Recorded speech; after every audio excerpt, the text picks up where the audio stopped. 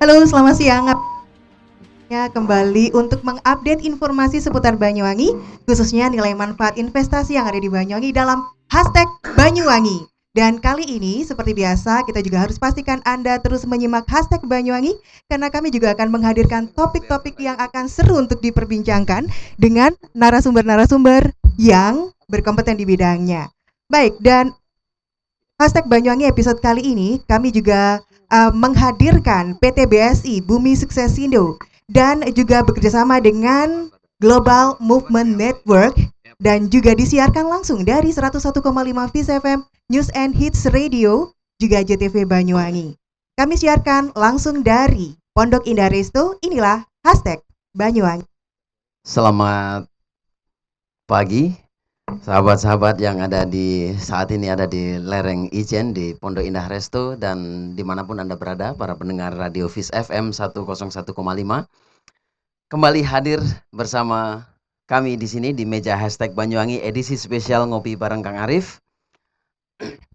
Hari ini adalah um, kita akan mengupas refleksi pasca komisioning BSI di mana kita tahu uh, beberapa bulan ini BSI sudah mulai melakukan uji coba produksi. Saya tidak tahu persis istilahnya apa. Saya dengar-dengar namanya komisioning, nanti akan dijelaskan oleh Pak Arif dan tim dari PT Bumi Sukses Indo. Dan selanjutnya kami mari kita sambut. Saya akan perkenalkan satu-satu yang pagi ini akan menemani kita berdiskusi tentang uh, bagaimana uh, proses menambang dan bagaimana uh, lingkungan dijaga oleh PT BSI. Bersama kami ada uh, Pak dosen muda, intelektual muda andalan Banyuwangi. Beliau adalah Pak Irwan Kurniawan SHM HUM dari uh, Pusat Studi Lingkungan Universitas 17 Agustus Banyuwangi. Selamat datang di hashtag Banyuwangi. Ada juga yang seleb tweet. Beliau adalah uh, selebritas Twitter sekaligus uh, birokrat Banyuwangi yang sehari-hari mantengin PT Bumi Sukses Indo dan kerja-kerja tambang yang lain. Beliau adalah Pak Budi Wahono, Kepala Bidang Pengawasan dan Penyelidikan uh, Lingkup Pengendalian, Kepala Bidang Pengawasan dan Pengendalian Lingkungan. Bukan main tugasnya. Mengawasi dan melakukan pengendalian lingkungan. Jadi ini yang nempel ketat bagaimana PT BSI harus bekerja agar uh, tidak merusak lingkungan. Uh, kemudian bintang uh, ngopi bareng Kang Arif, Kang Arif, Direktur PT Bumi Sukses Indo yang sudah tidak asing lagi. Dan Kang Arif bersama satu uh, kawan dari PT Bumi Sukses Indo, Mas Iwa panggilan akrabnya. Saya baru tahu ternyata nama lengkapnya Asep Iwa Mulyawan. Beliau ini ya muda, fresh, tetapi tanggung jawabnya luar biasa. Superintendent untuk environmental. Jadi PT BSI yang urusannya dengan enviro enviro tentang bagaimana uh, memotong kayu, bagaimana kalau ada di sana ditemukan ular, burung segala macam apa yang dilakukan Mas Iwa dan timnya. Ini nanti akan diceritakan kepada kita semua. Baik, kita akan segera mulai. Kita akan dengarkan dulu bagaimana uh, paparan ulasan masing-masing narasumber dan uh, Sekali lagi, hashtag Banyuwangi kali ini hashtag Banyuwangi spesial ngopi bareng Kang Arif disiarkan langsung dari Pondok Indah Resto di lereng Ijen. Silahkan uh, kita mulai dari uh, Pak Budi dulu. Oke, okay, dari Pak Budi Wahono dulu. Uh, mungkin per, bisa dijelaskan bagaimana sih dulunya PT BSI kok tiba-tiba sekarang kita ada tambang emas begitu. Bagi orang yang tidak tahu itu kan tiba-tiba Pak Budi. Jadi uh, mungkin bisa diceritakan perjalanannya. Dengar-dengar ternyata prosesnya sudah bertahun-tahun gitu. Silakan Pak Budi. Ya, terima kasih Mas Malik. Jadi uh, benar yang disampaikan Mas Malik itu sebagaimana kegiatan-kegiatan usaha pembangunan terutama kegiatan tambang mineral logam maka eh, kegiatan pertambangan sendiri itu kan ada eksplorasi dan operasi produksi. Kalau ngomong kegiatan eksplorasi itu sudah puluhan tahun dilakukan. Jadi sejak tahun 80 bahkan kalau kita merefer ke penelitian sebelumnya itu mulai dari 48 sudah sudah menjadi cikal bakal sebuah kegiatan pertambangan sebenarnya karena 48 itu Van Bemelen melakukan penelitian geologi Indonesia.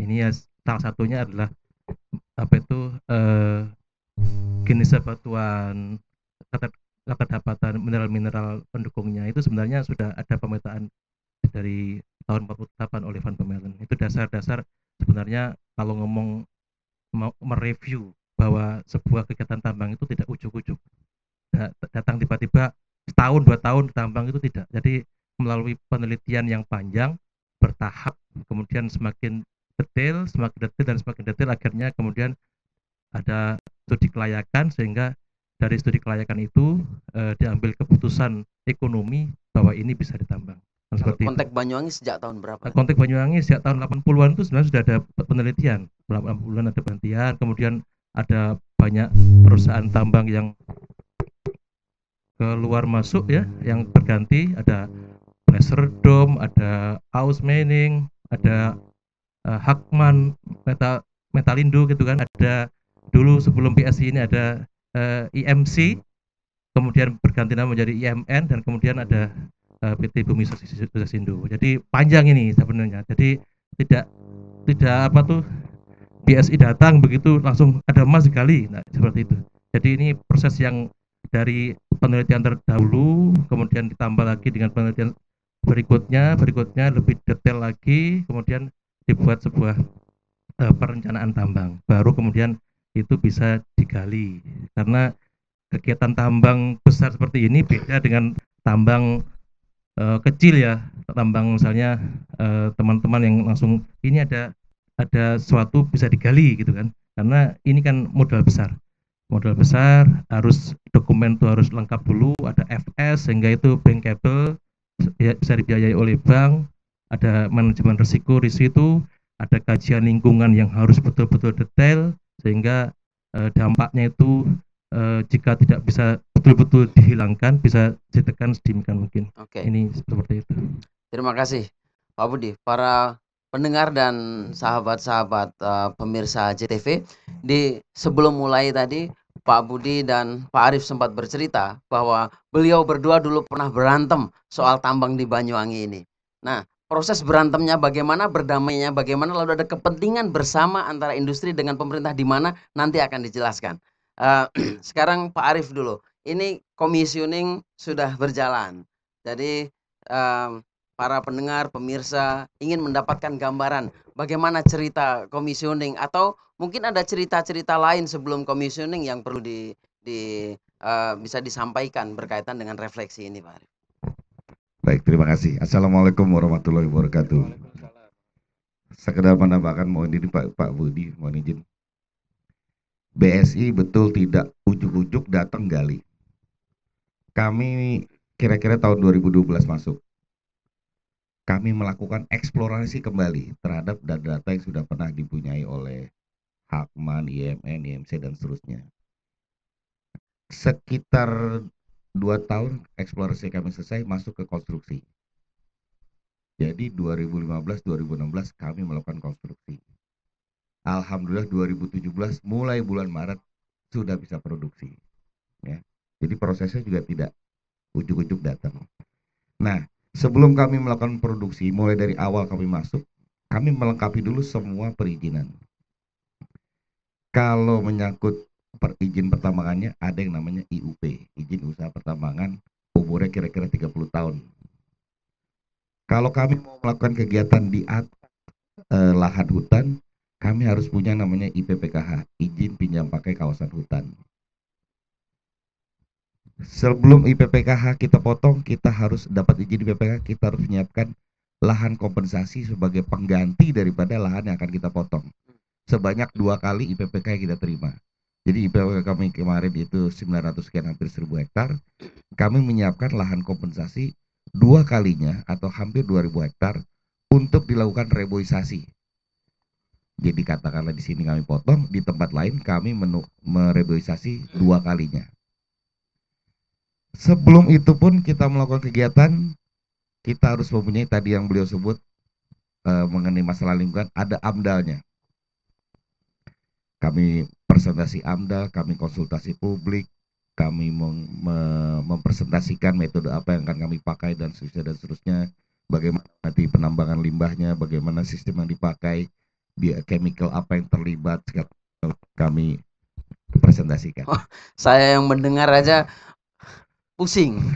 Jadi eh, pemirsa saya mengibaratkan eh, ibarat kita mau makan eh, bahan bakunya harus ada izinnya, masaknya ada izinnya, kemudian menyiapkan piringnya ada izinnya, memilih menu ada izinnya, tinggal makannya juga ada izinnya. Kalau kita bilang makannya itu misalnya di kita ibaratnya produksi, Oke.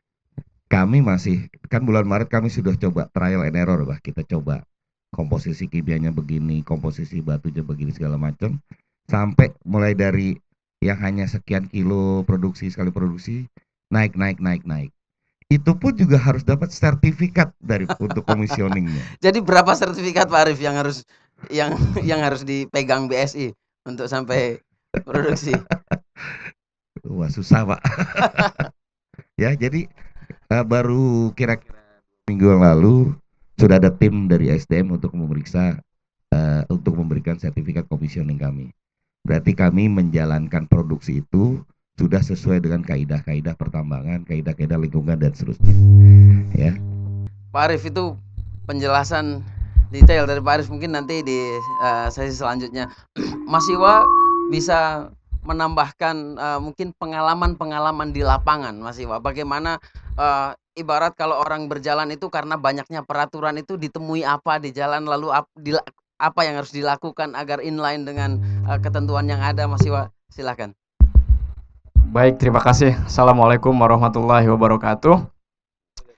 Am, menyambung dari tadi Pak Budi, kemudian Pak Arif, ya. Jadi dalam pengelolaan lingkungan, nah itu harus ada layak lingkungan dulu. Nah Pak Arif bilang tadi ada AMDAL. Nah jadi eh, operation kita itu sudah dinyatakan layak secara lingkungan. Jadi bagaimana rencana pengelolaan, bagaimana rencana pemantauan, efektivitas daripada pengelolaan itu sudah tertuang semua. Nah, jadi tinggal bagaimana ketika kita operasi itu menjalankan itu semua. Nah, karena setiap pengelolaan, setiap pemantauan itu saling terkait dengan peraturan pemerintah. Jadi alhamdulillah peraturan pemerintah kita sangat lengkap mengatur dari mulai masalah debunya, masalah kebisingannya, masalah eh, pengawetan keanekaragaman hayatinya, masalah eh, airnya, itu semua sudah diatur. Nah, bagaimana kami menjalankan semua peraturan itu? Bi- bisa dicontohkan eh, sedikit masalah debu atau kons- atau apa konservasi satwanya misalnya Nah, misalkan masalah debu. Nah, masalah debu ini ada baku mutu debu. Nah, yang baku mutu debu untuk industri, kemudian baku mutu debu untuk pemukiman, itu ada. Ya, ada di eh, Kementerian Lingkungan Hidup sudah mengatur itu dan BSI harus comply.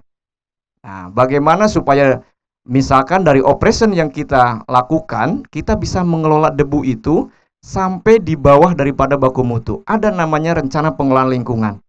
Nah, itu harus dijalankan sama BSI. Kami sudah atur itu semua dan sekarang itu implementasi.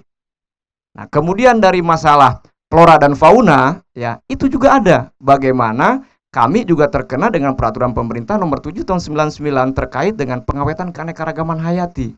Bagaimana kami memonitor eh, kekayaan-kekayaan yang ada di sana, bagaimana memonitor misalkan pohonnya, bagaimana kami harus melakukan konservasi dari pohonnya. Ya, jadi kalau lihat teman-teman kalau saya tur ke lapangan, itu banyak pohon-pohon besar yang kami tidak potong gitu kan.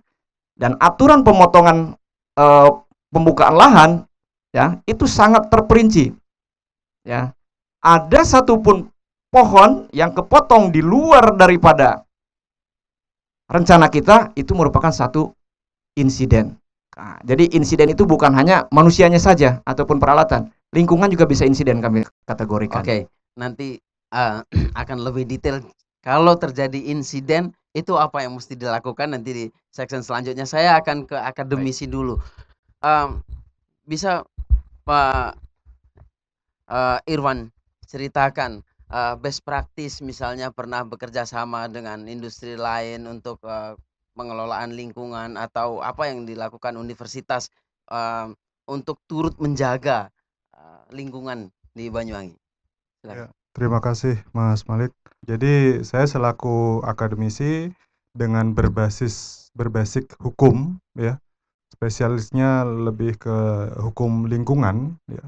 Seperti kita ketahui Indonesia negara hukum dan hukum itu bukan fleksibel tapi bersifat rigid, kaku. Aturan-aturan itu kaku, jadi tidak bisa ditawar. Nah, aturan itu selain kaku, apalagi ini aturan yang pemerintah sudah pasti jauh-jauh hari memikirkan eh, berkaitan dengan aturan pertambangan ada yang namanya prinsip kehati-hatian. Nah, jadi seperti disampaikan oleh Kang Asep tadi ya, Kang Asep yang kasep ya. Nah, jadi prinsip kehati-hatian itu selalu dijalani setahap demi setahap seperti disampaikan oleh Pak Arif tadi ya. Nah, dan itu ada pemerintah, ada masyarakat yang mengawasi. Eh, tahap- ya, tahapan-tahapan ini eh, diawasi dengan aturan, ada dasar aturannya yang pasti ada sanksinya. Karena kalau aturan tidak ada sanksinya, pasti dianggap sebagai macan ompong. Nah, saya pikir bukan hanya eh, masyarakat, tapi eh, aparat hukum yang menjaga hukum itu juga paham bagaimana sanksi ketika prinsip ketidak eh, prinsip kehati-hatian ini tidak dilaksanakan, ya.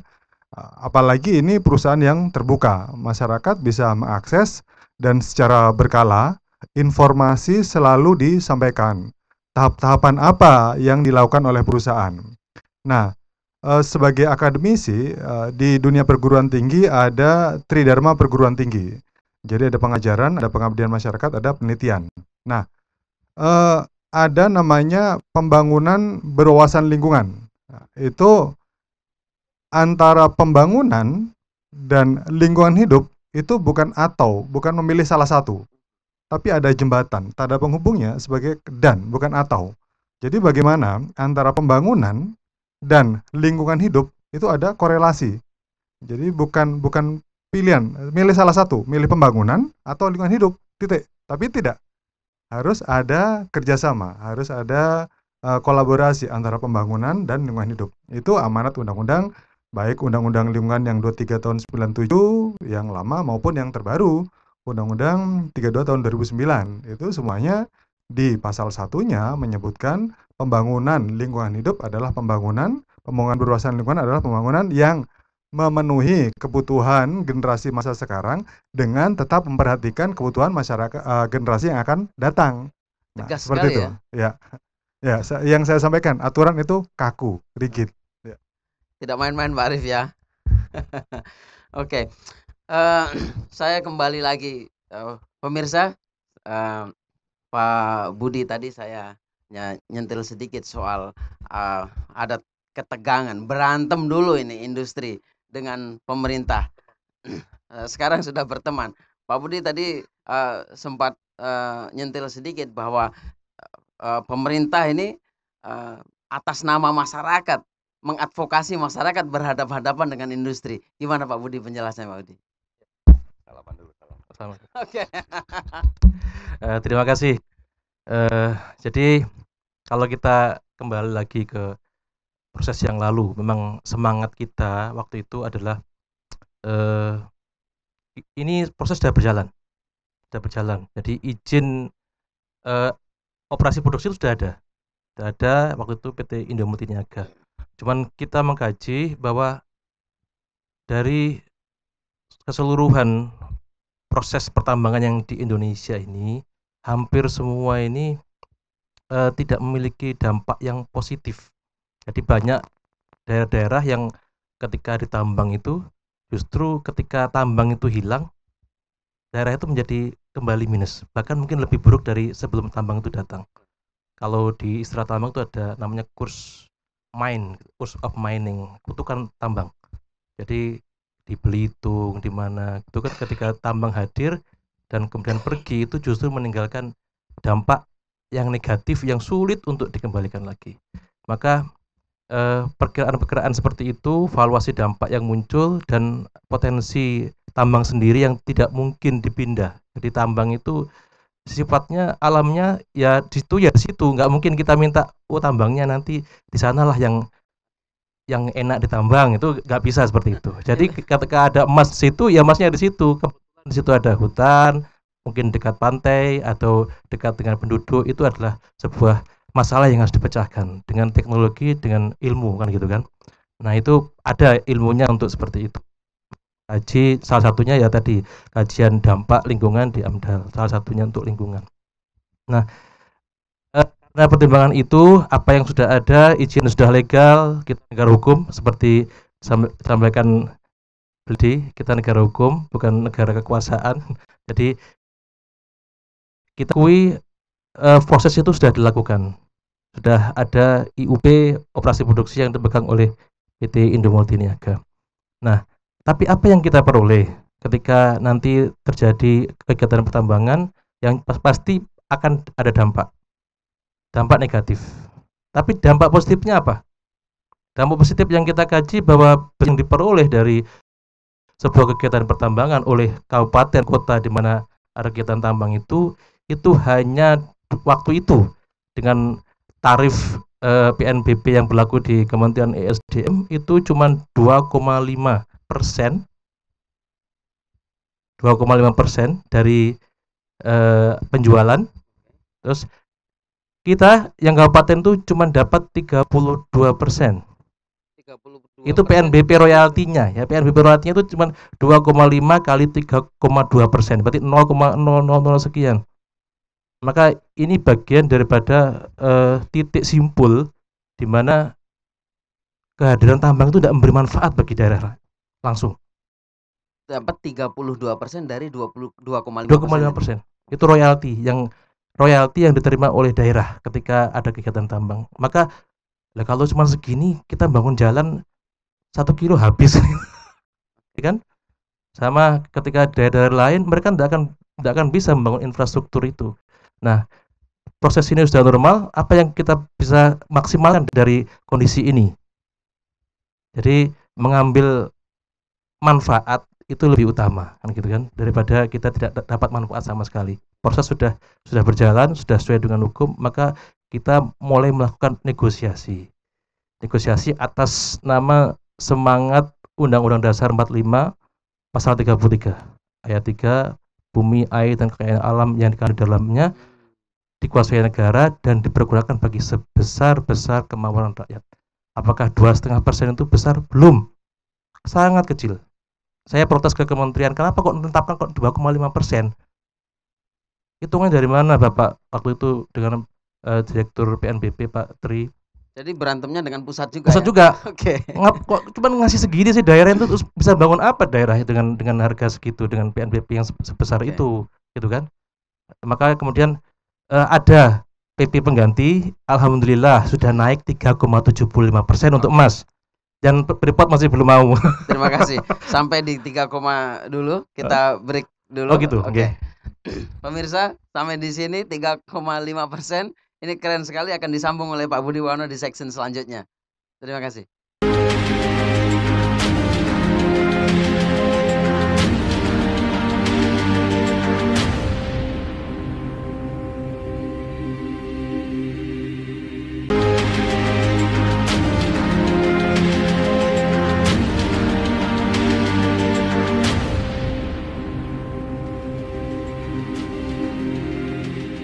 Hashtag Banyuwangi ngopi bareng Kang Arif uh, kembali ke Pak Budi Wahono.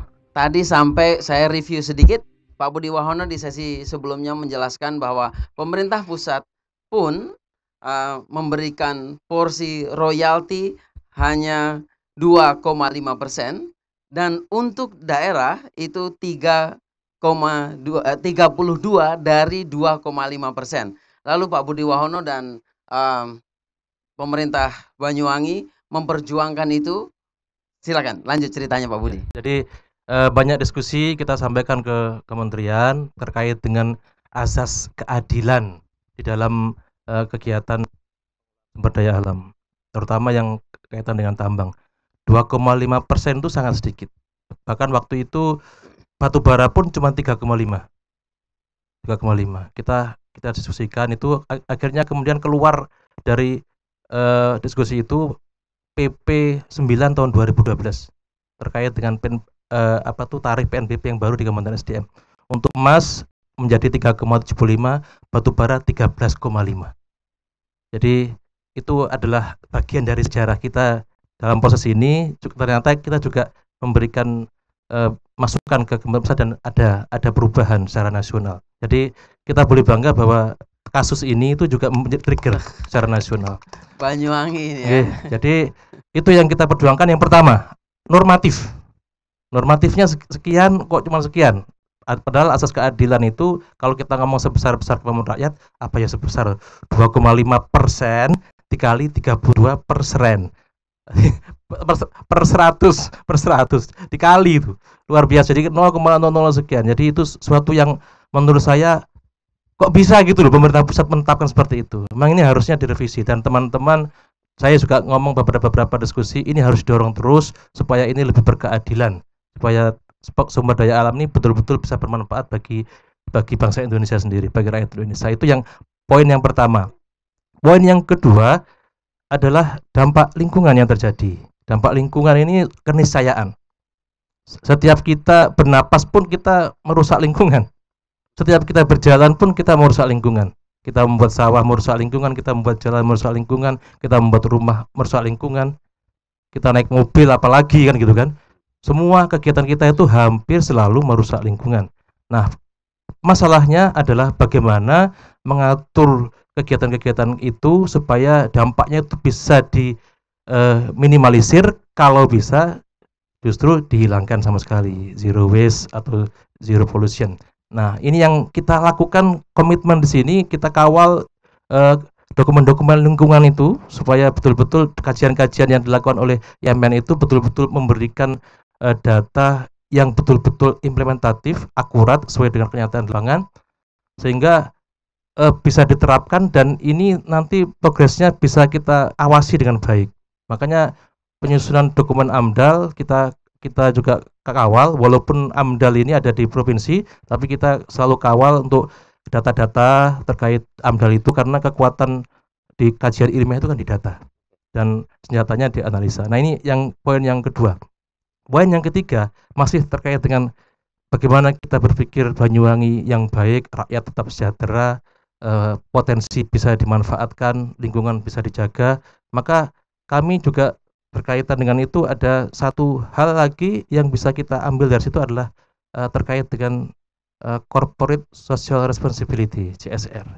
Nah CSR ini kita perjuangkan ini beliau ini jadi enam bulan kita berjuang untuk untuk menggolkan CSR itu. CSR ini adalah bagian daripada komitmen eh, perusahaan untuk bertanggung jawab kepada masyarakat sekitar tambang. Masyarakat sekitar tambang. Apa yang kita perjuangkan adalah waktu itu kami memang berjuang eh, minta 5% dari total revenue. Namanya juga kita berusaha walaupun walaupun kita tahu Freeport itu cuma 0,5 dari net profit. Freeport Oh, net profit ya bukan net revenue. ya. profit. Tapi, tapi kita minta 5% dari total revenue. Dari total penjualan kita kita minta itu sebagai eh, bahan kita untuk bergaining dengan eh, manajemen PT BSI. Dan akhirnya setelah proses yang panjang akhirnya disepakati 1,5 persen dari total revenue. Itu adalah nilai terbesar di dunia. Wow. Jadi Dari- berapa dari berapa CSR. persen kalau dibanding Freeport ya? Ya itu berapa nggak tahu kalau net, net profit dibandingkan dengan total revenue aja sudah tidak bisa dibandingkan apalagi ini Oke. 1,5 Oke. dengan 0,5. Jadi ini adalah capaian berikutnya dari hasil negosiasi kita. Semangat kita adalah eh, ini betul-betul tambang bisa memberi manfaat bagi rakyat Banyuwangi. Itu semangat semangat kita di awal. Terima kasih Pak Budi. Pak Arif gimana ini dalam perspektif industri? Ngerasa kecolongan nggak? Buset. Di tempat lain aja 0, sekian dari dari eh, dari net net gitu ya. Lalu ini eh, satu berapa 1,5 dari revenue ini gim- gimana perspektif industrinya Pak Arif? Saya nambahin lagi, Pak Budi ada yang kurang. Golden share Oke. 10%. golden share 10 share masih ada lagi apa itu golden share Jadi waktu kami mendirikan BSI dimasukkanlah porsi saham Pemda Banyuwangi. Jadi bukan Pak Bupati atau Pak Budi. Masyarakat Banyuwangi melalui Pemda mempunyai saham 10% di PT BSI. 10% ini waktu awal-awal dulu nilainya kecil. Karena apa? Modal kita waktu itu hanya 20 miliaran. Tapi kami kasih free beliau nih, bukan beliau, maaf, Pemda Banyuwangi. Masyarakat Banyuwangi melalui Pemda. Dua, 10% dari 20 miliar. Kecil. Tetapi kami komit apa pun yang mi- kami keluarkan untuk biaya investasi, konstruksi dan seterusnya tidak akan mengganggu APBD atau eh, keuangan daripada Banyuwangi. Jadi kita store di pemegang saham yang lain di luar daripada Banyuwangi sampai mencapai angka 200 miliar. Free masih. Jadi nilainya sudah naik yang tadinya 20 eh, 10% dari 20 miliar, sekarang 10% dari 200 miliar. Meningkat kepada konstruksi yang memang yang namanya tambang ini perlu pendanaan yang besar, mohon maaf sampai ke angka ratusan miliar bahkan triliun, kami melakukan alternatif-alternatif pembiayaan. Salah satu yang paling murah adalah melalui IPO. Komitmen kami pada saat itu, kita pemegang saham sama-sama hidup susah senang ditanggung bersama. Akhirnya begitu kita IPO, kita dapat dana segar, nilainya eh, saham nilai modal daripada Pemda Banyuwangi yang tadinya 10% kali 20 miliar menjadi 10% kali 200 miliar jadi sekitar 20 miliaran. Pada saat kami IPO sudah meningkat nilainya menjadi 400 miliar. 400 miliar. Ya pada saat itu memang konsekuensinya saham turun dari 10% menjadi 6,7 kami juga begitu karena apa? Karena ada unsur publik yang masuk. Jadi kita berbagi dengan publik jangan salah tahun kemarin kita IPO nilai saham kita sekitar 2000 rupiah sekarang sudah naik menjadi sekitar 2300 2400 nilainya Pemda kalau boleh saya bilang sekarang sudah naik 500 miliar lebih oke nilai Oke, Mas. sahamnya ya. Nah, apakah itu kami kecolongan atau kami rugi? Saya pikir karena kita adalah dalam negeri PMDN, kalau tadi Pak Budi istilahnya semangat merah putih. oke ya, yang Banyuwangi ya orang Indonesia juga, kita juga orang Indonesia, mau dari Jakarta, Banyuwangi, mana-mana orang Indonesia siap kami berkolaborasi dengan Pemda Banyuwangi sehingga kita siap memberikan itu tadi royaltinya naik, CSR-nya na- eh, paling tinggi sebelumnya, sahamnya juga demikian. Jadi tidak ada kecolongan, kami sama-sama merasa senang. Oke, merah putih kata Merah kuncinya. putih. Oke.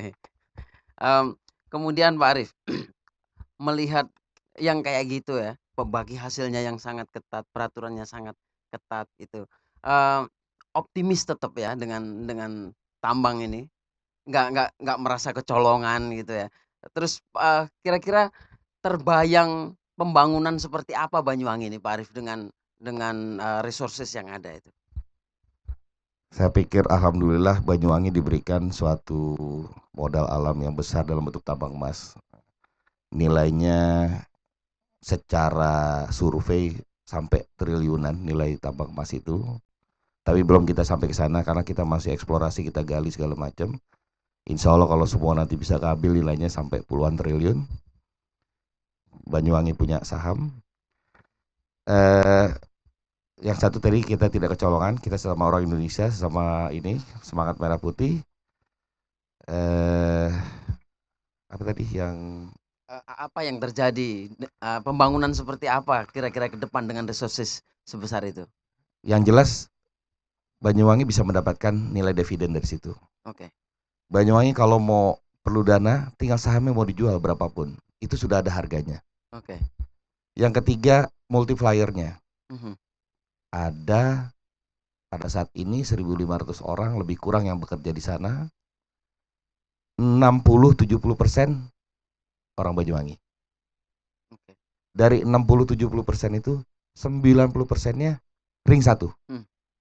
itu multiplier secara personalia Oke, oke. secara ekonomi bayangkan untuk mensuplai 1.500 orang itu perlu makan perlu penginapan perlu hari-hari gosok apa sikat gigi odol segala Oke, macam multiplier oke. banyak.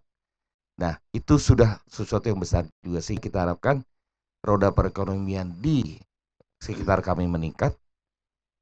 Masyarakat juga mendapatkan CSR Pemda secara keseluruhan mendapatkan royalti dan eh, tadi itu CSR dividen dan seterusnya sehingga paling tidak Banyuwangi akan terangkat. Itu oke, itu baik-baiknya sekarang. Pak Arief, ini kalau bagaimana menanggapi eh, wacana, gosip atau saya tidak tahu fakta atau bagaimana yang beredar di media misalnya eh, bisnis mineral itu di mana-mana ya berdampak. Lumpur misalnya. Oh, lumpur itu eh, sekarang ada banjir lumpur di sana. Yang wisata yang tadinya rame rawan sekali terganggu karena ada banjir lumpur misalnya atau ada satwa-satwa sekarang ini oh, harimau atau menjangan atau apa sekarang turun ke kampung-kampung gitu karena karena BSI atau juga mungkin sawah-sawah eh, menjadi tidak panen tercemar nanti Pak Arief bisa highlight sedikit dengan Mas Iwa juga tentunya untuk gimana Pak Arief menanggapi itu.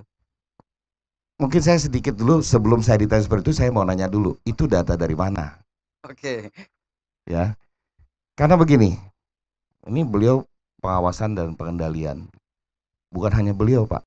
Dari kabupaten dari provinsi sampai Jakarta seluruh instansi melihat kami dari segi lingkungan dari segi SDM itu semua melihat kami ada periodik yang namanya inspeksi ke kunjungan ke kami untuk meriksa baik secara lingkungan baik secara eh, pertambangannya mulai dari SDM, mulai dari KLH, mulai dari kehutanan, perhutani dan seterusnya.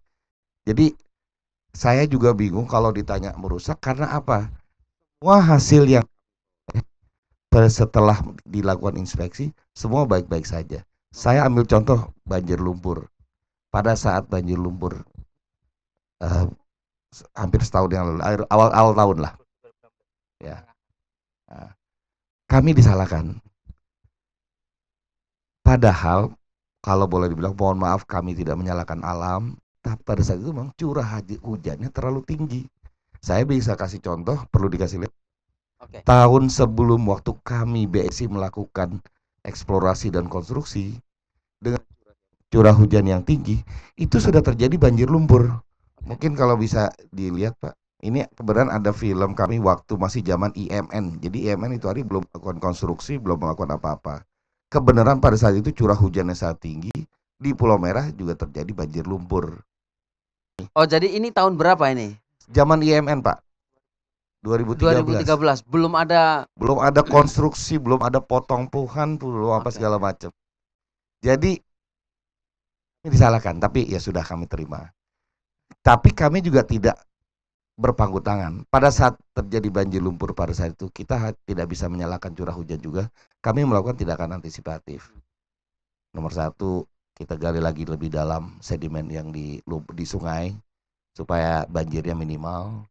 Di atas atas eh, inspeksi dari lingkungan hidup eh, kabupaten juga kami harus menyelesaikan dam yang enam buah itu untuk sebagai penahan daripada erosi lumpur ke bawah dan alhamdulillah kalau terjadi cepat Oke. eh, beresnya recovery-nya. Nah, itulah kira-kira yang kami lakukan. Oke, terima kasih. Eh, eh, pemirsa CTV, kita sudah eh, kita saat ini kita masih punya waktu 35 menit ke depan, masih ada waktu untuk eh, Mas Iwa dan eh, Pak Irwan dan juga Pak Budi mungkin untuk memberikan penjelasan lebih detail. Mas Iwa, eh, mungkin bisa berikan penjelasan yang lebih detail. Katanya ada ada satwa liar yang sekarang turun ke kampung gara-gara penebangan yang dilakukan BSI atau ada biota laut yang berkurang, jenis kerang tertentu yang hilang misalnya. Bagaimana penjelasan Mas Iwa? Ya, baik, terima kasih. Nah, sekarang logika sederhananya saja. Tadi eh, Mas Malik sudah bilang gitu kan katanya ada Kijang masuk ke kampung. Logikanya sekarang nggak bakal dilaporkan Pak. Ya, ditangkap. Saya yakin ditangkap. Nah, Kijang Innova lain cerita Pak. Itu kalau kalau misalkan Kijang Innova lain cerita. Jadi em, ya itu kami kami bisa bisa apa namanya bisa bisa sanggah bahwa itu eh, namanya juga tadi gosip Mas Malik ya. Nah, kami juga bisa jawab gitu. Ah, itu juga gosip. Nah, itu cuma gosip. Jadi eh, kenapa kami bisa bisa eh, sampaikan bahwa itu juga eh, cuma gosip dalam artian kami melakukan monitoring rutin ya, monitoring rutin. Jadi untuk khusus untuk eh, fauna ya, itu ada namanya kita punya enam lokasi. enam lokasi untuk titik-titik pemantauan. Nah, enam lokasi. Nah, salah satu lokasinya itu berada di hutan jati dan ladang warga, lah, anggap seperti itu. Oke. Nah, dan itu sejak zaman ya, apa namanya? eh, IMN ya, itu tidak ditemukan di daerah sana gitu loh, Pak. A- a- apanya yang tidak ditemukan? Yang untuk daerah Kijang dan Oh, lain oke, sebagainya. oke, oke, oke, oke. Nah, kami juga bisa sampaikan gitu kan. Kijang itu adanya di mana saja di lokasi kami. Nah, kami sudah petakan, Mas Malik ya. Jadi dari mulai arah migrasi, jenis-jenis ini ada di mana, jumlah spesiesnya ada berapa, jenisnya apa saja, keluarganya apa saja, ya. Nah, itu kami sudah monitoring. Ke mana kami Ke mana melaporkan? masyarakat? Ya, ya. Ke mana kami melaporkan? Oke, ya. Tentu yang pertama adalah kalau berurusan dengan flora fauna ya, selain dengan lingkungan hidup ya, itu ada namanya Badan Konservasi Sumber Daya Alam. Ya kan? Nah, itu juga salah satu eh, stakeholder kami BSI. Selain dari tadi kan ngebahasnya LH terus kan lingkungan hidup. Khusus untuk itu, ah, itu ada Badan Konservasi Sumber Daya Alam. Nah, yang terdekat dengan kami ya sekaligus kami sering berkomunikasi yang pertama adalah wilayah 3 Jawa Timur. Nah kemudian yang paling terdekat lagi adalah seksi 5 yang di Banyuwangi. Nah dulu kantornya depan-depanan dengan eh, Dinas Lingkungan Hidup LH nah kami rutin untuk laporan ke sana. Jadi beliau-beliau juga sudah kopi Mas Malik ya di BSI ada apa saja BSI melakukan apa saja untuk melakukan perlindungannya. Nah, seperti itu. Jadi kita bisa tangkis bahwa itu gosip. Oke, itu Terima matur nuwun. Terima kasih, Mas Iwa. Eh, sekarang eh, kita ke akademisi. Em, kita sekarang maju setelah kita flashback, refleksi gitu. Sekarang kita maju. Kira-kira apa ya yang mesti dilakukan untuk melak- untuk eh, membuat Banyuwangi ini menjadi lebih baik dari aspek lingkungan sebagai em, dari pusat studi lingkungan. Juga bagaimana agar masyarakat tahu kalau masyarakat merasa tidak nyaman dengan dengan BSI misalnya ke mana masyarakat seharusnya melapor? Apa yang masyarakat mesti lakukan agar proporsional? Jadi a- apa eh, keinginan masyarakat juga bisa terkanalisasi dengan baik eh, tambangnya juga bisa berjalan kesejahteraan bisa didapat bagaimana Ya, terima kasih Mas Malik. Jadi eh, dalam pembangunan yang pasti itu harus membawa manfaat. Siapa pun pelaku pembangunannya, perusahaan kecil, UKM dan lain-lain, itu harus membawa manfaat. Manfaat bagi siapa? Bagi masyarakat banyak, seluas-luasnya. Nah, eh, BSI sebagai perusahaan yang sangat besar, apalagi berkaitan dengan masalah tambang, tentu sudah memperhatikan, sudah antisipasi eh, dampak negatifnya. Nah, seperti disampaikan oleh Pak tadi, Pak Budi, itu ada pembangunan jenis apa pun pasti ada dampak negatif, ada positifnya, ada manfaat, ada mudorotnya. Nah, tentu antisipasi. Jangankan perusahaan tambang skala besar, eh, UKM tahu saja ada eh, polusinya, gitu ya. Pasti ada tahapan-tahapan yang eh, harus dilalui, yang harus dikerjakan. Nah, ke depan eh, Banyuwangi yang kita akui semakin menarik dari sektor wisata tentu eh, akan sangat diperhatikan di satu sisi perusahaan tambang itu identik dengan hal negatif. Tapi seperti disampaikan eh, tadi ya, ada antisipasi. Di sisi yang lain, eh, pembangunan pariwisata Banyuwangi itu lebih menitik beratkan ke sektor alam, berarti menjaga lingkungan hidup, dan sektor budaya. Nah, saya yakin pemerintah tidak akan main-main terhadap aturan-aturan penegakan hukum, terhadap eh, sanksinya eh, yang ada. Karena pemerintah di satu sisi ingin membangun pariwisata, tidak mungkin di sisi yang lain akan membiarkan kerusakan yang merusak alamnya.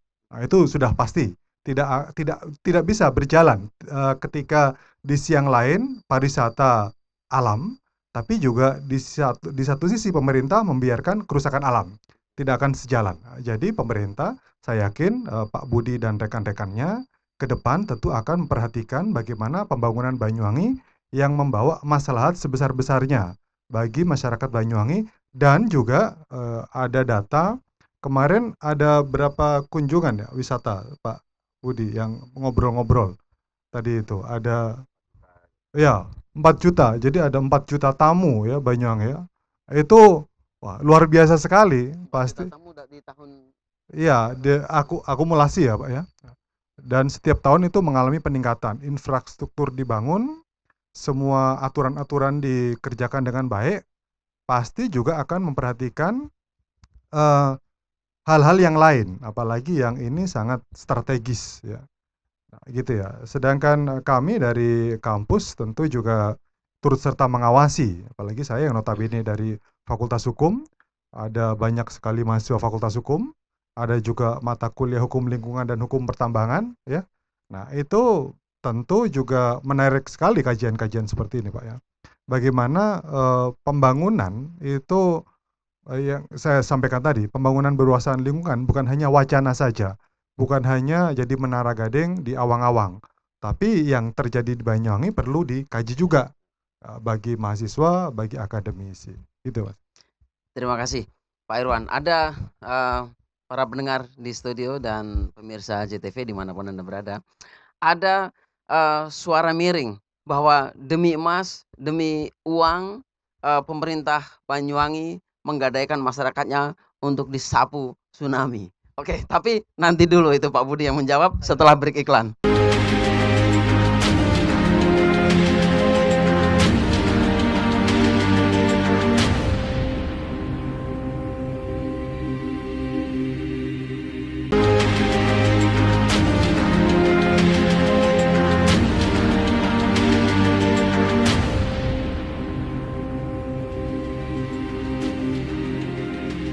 Sahabat Peace FM dan pemirsa JTV masih di hashtag Banyuwangi bersama PT Bumi Sukses Indo dan Global Movement Network dari lereng Gunung Ijen Pondok Indah Resto.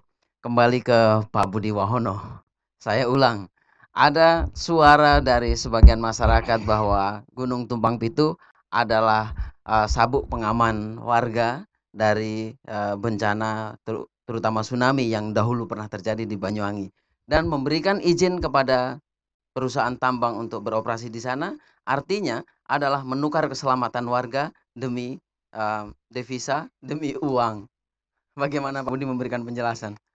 Ya, jadi itu namanya ketakutan. Okay. Nah, ketakutan yang uh, sebenarnya sangat tidak berdasar. Jadi sebenarnya bisa aja kita berpendapat tapi harus ada data. Kalau misalnya seperti itu harusnya yang menyampaikan itu ngomong bagaimana terkait dengan klimatologi, toh bagaimana kaitannya dengan bentang alam itu. Jadi Temang itu memang benar dia adalah bentang alam. Bentang alam itu artinya morfologi bentuk alam naik turun itu namanya bentang alam. Nah, tapi sebagian teman-teman mengartikan bentang alam sebagai benteng alam. Jadi antara bentang alam dan benteng alam jauh gitu kan. Nah, kaitan seperti itu memang bukit gunung itu adalah eh, berpengaruh terhadap, terhadap sirkulasi eh, atau pergerakan angin. Ya, itu itu itu benar. Tapi kita harus tahu bahwa yang pertama tambang di Tumbang itu seperti apa? Apakah pangkas sampai dasar atau mungkin malah lebih dari pantainya lebih lebih dalam atau seperti apa? atau dia menghabisi tebing-tebing yang di di pantai itu atau seperti apa. Jadi rencana itu juga harus dilihat bahwa tambang di Tumpang Pitu itu tidak langsung ha- menghabisi gunung itu. Dia hanya mengambil pada porsi-porsi tertentu ada berapa pit situ, ada enam kalau nggak salah. Nah itu diambil, sebagian nanti juga akan ditutupi lagi karena ini heap leach.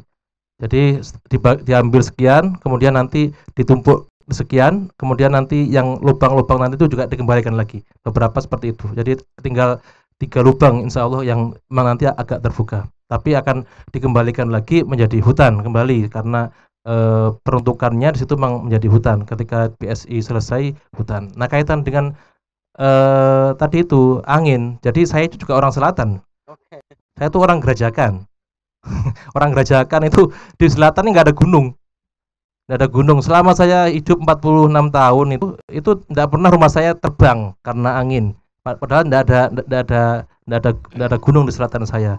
Eh itu sebagai empirisnya aja. Artinya kalau ngomong ngomong ketakutan itu harus ada data, ada data. Jadi yang di situ itu juga kita tidak misalnya kita tidak menafikan bahwa ada eh, dulu ada tsunami. Mereka juga takut kalau ini diambil nanti tsunami seperti apa? Tsunami itu yang tercatat terakhir itu adalah ketinggian 15 meter. 15 meter itu kalau ket- ketinggian Gunung Tumampi itu sekarang 400 meter, Pak. Kalau Hmm. diambil cuman sekian meter aja itu tidak akan mengurangi eh, Oh. daya dukungnya terhadap tsunami. Kan gitu kan? Tsunami tsunami itu tidak akan melompat gunung, dia akan mencari daerah yang lebih rendah. Memang tetap menjadi bahaya itu daerah Pancar dan sekitarnya itu karena memang itu adalah daerah dataran. Itu tetap tetap ada potensi bahaya tsunami. Makanya di situ juga dipasang DEWS, ada eh, BSI juga sudah pasang jalur evakuasi tsunami dan sebagainya, ada pelatihan-pelatihan terkait dengan tsunami, BPBD juga dari Kabupaten Banyuwangi juga melakukan pelatihan. Ini ini kaitan dengan yang pertama tadi, kaitan dengan eh, bentang dan benteng alam kan gitu kan. Kemudian kaitan dengan ada yang mengatakan tadi itu sampaikan mengatakan bahwa ini Banyu apa Bupati menukar menukar eh, keselamatan warga dengan dengan tambang emas kan gitu kan. Eh, sebenarnya tidak juga. Jadi semua hal yang kita lakukan itu ada ada tahapan-tahapan, ada proses, ada sebuah mekanisme yang didasarkan yang pertama pada normatif, yang kedua itu pada kajian-kajian akademis. Jadi kita tidak bisa memberikan izin kalau itu dampak itu tidak dikelola dengan baik. Jadi AMDAL itu eh, kaitan dengan keselamatan warga, termasuk dengan tsunami tadi itu, kemudian angin kalau ada angin besar, eh, kemudian mungkin ada dampak-dampak lain itu dikaji dengan baik. Kajian-kajiannya itu banyak itu berderet-deret baik berbahasa Inggris maupun berbahasa Indonesia itu banyak sekali yaitu jadi ada kajian hidro eh, apa eh, lebih ke lidar untuk untuk ke permukaan bagaimana ini apa eh, di- dipetakan lagi itu bentuk permukaan buminya itu banyak sekali. Jadi kita ingin memastikan bahwa dua aspek ini manfaat yang bisa didapat dengan dampak negatif yang timbul ini ini bisa kita kelola dengan baik sehingga kita bisa memaksimalkan manfaat kemudian kita bisa menekan dampak ini yang kita Ya. kita prinsip kita yang kita laksanakan Terima kasih Pak Budi. Uh, closing statement Pak Arief kita di menit-menit terakhir ini uh, bagaimana BSI berusaha berupaya lebih dekat dengan masyarakat, bagaimana BSI berupaya lebih mendengar apa yang diinginkan oleh masyarakat. Yang jelas BSI sebagian sahamnya dimiliki oleh masyarakat Banyuwangi. Jadi masyarakat Banyuwangi berhak mendatangi BSI. Kalau ada keluhan, jalan rusak, rumah kacanya retak gara-gara macam-macam apa, silakan kami menyediakan sarana untuk itu. Di depan pintu masuk kami ada kantor external affair. Di situlah silakan masyarakat mau mengadu, mau ngasih komplain, mau proposal, mau apa, monggo. Jadi memang kami sudah siapkan. Karena agak keluar supaya kalau di dalam tuh agak bahaya. ya. Daerah tambang itu nanti mobilnya gede-gede, keselamatan safety juga harus kita jaga. Sehingga kami membuat kantor external affair di luar dekat pintu gerbang. Monggo, silakan kami menyediakan untuk itu. Mau keluhan, mau saran, mau proposal, mau ngopi-ngopi, ya monggo gitu. Kita siap untuk itu dan kita terbuka. ada undangan dari mana mana monggo kita siap untuk menjelaskan jadi tolong kami siap kami tidak anti kritik kami mendengar karena biar bagaimanapun masyarakat Banyuwangi adalah pemegang saham kami, stakeholder kami. Kami siap mendengarkan dan segera menindaklanjuti bila akan ada komplain, eh, komplain atau keluhan. Demikian. Terima kasih closing statement dari Pak Arief. Cukup tegas, jelas BSI pasang kantor persis di pinggir jalan, di pintu gerbang. Jadi kalau ada masyarakat mau masuk, nggak ada pagar-pagar yang rumit begitu Pak Arief ya. Oke, sekarang Mas Iwa, bagaimana meyakinkan kepada masyarakat bahwa BSI ini menjaga uh, mereka menambang tapi tetap memperhatikan aspek lingkungan dan memperhatikan um, safety dari masyarakat sekitar tambang. Silakan. Baik, intinya pengelolaan lingkungan adalah ketaatan. Ya, compliant. Selama kami taat terhadap aturan, insya Allah kami taat. Insya Allah pengelolaan lingkungan kami baik. Itu saja kunci pengelolaan lingkungan adalah pematuhan atau pemenuhan daripada aturan lingkungan. Dan sampai saat ini belum pernah ada sempritan dari Alhamdulillah kalau bahasanya. Terima kasih Mas Malik itu saja. terima kasih Pak Arief, terima kasih Pak Budi. Uh, Mas Irwan mau kasih sedikit close? Oke. Okay. Sudah cukup? Uh, Mas Irwan, terima kasih. Mas Iwa, terima kasih. Terima kasih para pendengar dan pemirsa JTV di mana pun Anda berada. Um, kita akan berjumpa lagi di talk show yang akan datang ngopi bersama Kang Arif di hashtag Banyuwangi bersama PT Bumi Suksesindo dan Global Movement Network disiarkan langsung oleh Vis FM dan um, tunda beberapa radio partner serta JTV. Saya kembalikan ke studio. Baik, demikian hashtag Banyuwangi untuk episode kali ini. Semoga informasi yang kami hadirkan bisa bermanfaat untuk Anda. Dan hashtag Banyuwangi dipersembahkan oleh PT BSI Bumi Suksesindo bekerja sama dengan Global Movement Network. Dan acara ini dipersembahkan oleh juga disiarkan di 101,5 Vis FM News and Hits Radio Banyuwangi dan JTV Banyuwangi. Saya dan seluruh kerabat kerja yang bertugas mengucapkan terima kasih atas kebersamaan Anda. Sampai jumpa.